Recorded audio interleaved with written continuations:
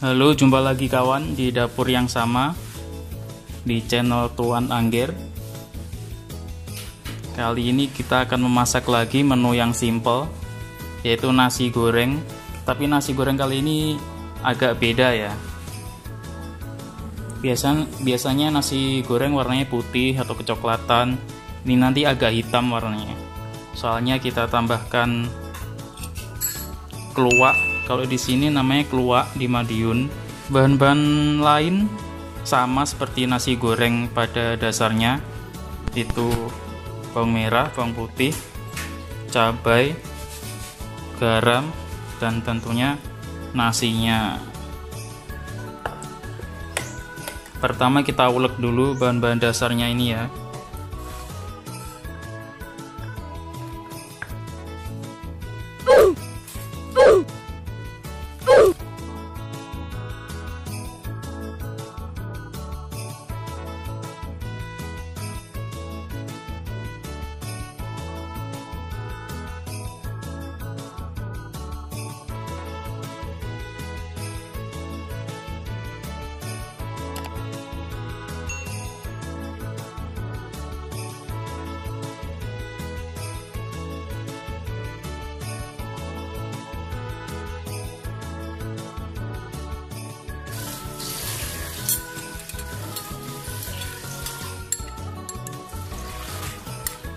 Kemudian ini keluaknya ini ditambahkan terakhir.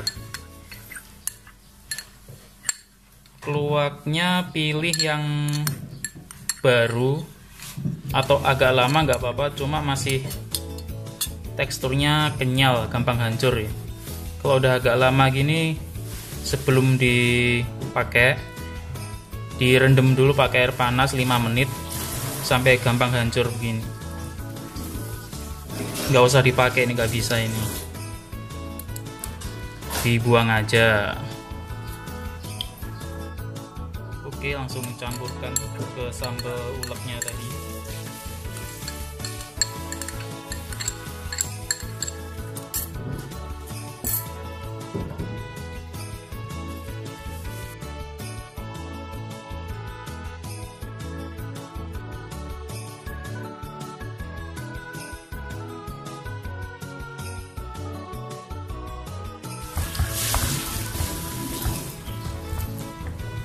Oh ini tadi untuk nasi seporsi seginian ini. Tadi saya pakai keluarnya satu sendok makan full. Sedang lah tiga keluar ukuran sedang. Ini sesuai selera sih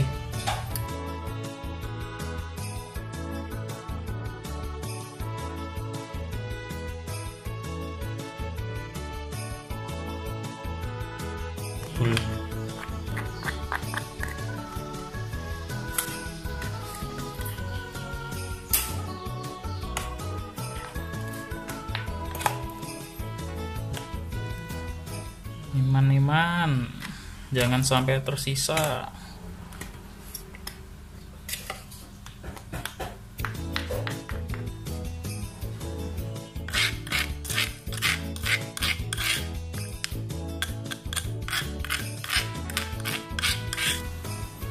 Kalau mau bikin nasi goreng tempat penggorengan pastikan panas dulu sampai keluar asap yang lumayan banyak. Biar nanti nggak lengket teman-teman.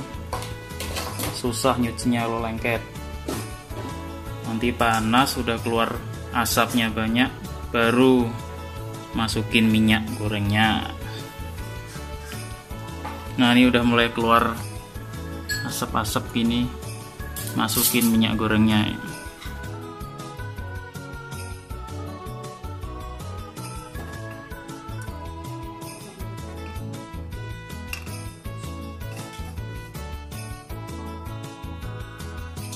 kira-kira segini lah minyaknya. Kalau yang seneng berminyak banget ya tambahin. Ya resiko resiko tanggung sendiri lah. Haha.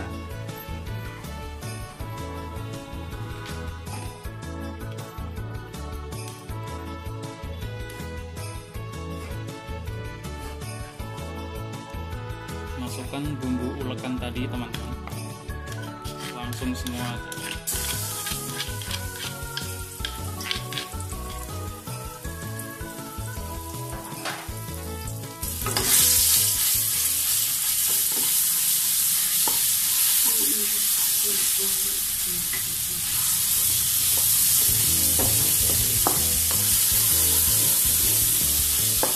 goreng sampai harum tapi jangan sampai gosong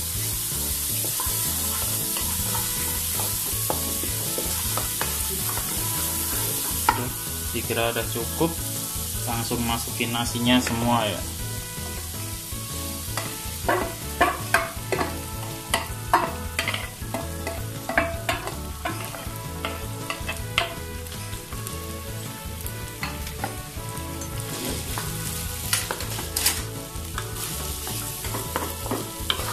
Nasinya lebih enak pakai nasi yang dingin nasi kemarin atau nasi baru tapi masukin kulkas dulu juga bisa.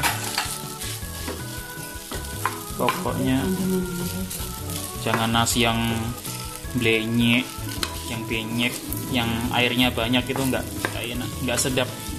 Kurang sedap lah. Enak yang kering-kering. Dibolak-balik sambil sekali-sekali agak di penyet-penyet gini biar yang masih putih-putih ini kecampur rata sama yang udah kena bumbu.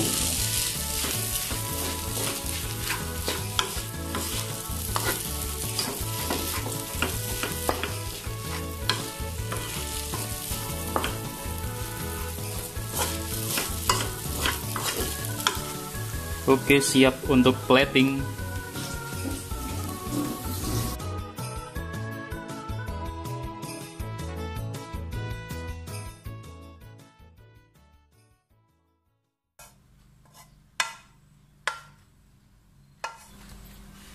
teman-teman bisa juga tambahin timun tomat atau lalapan lain yang sesuai selera kalian. Udah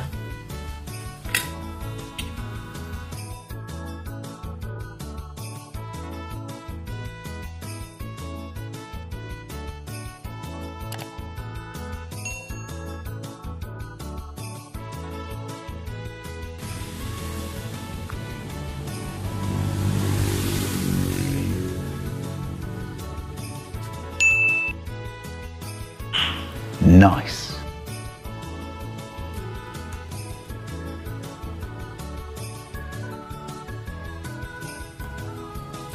halo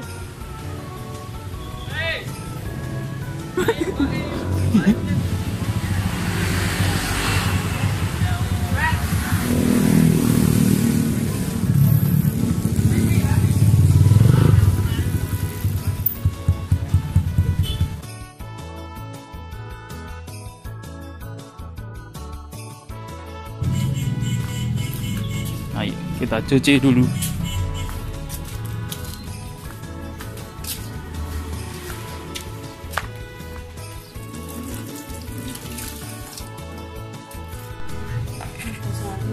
Nasi goreng keluak siap dimakan. Selamat mencoba.